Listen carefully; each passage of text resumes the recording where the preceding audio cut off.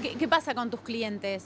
¿Piden descuentos? ¿Preguntas si, está, si se aplica el descuento acá o no? Hay clientes preguntan, "Eh, ¿todo- ¿por qué usted está más barato?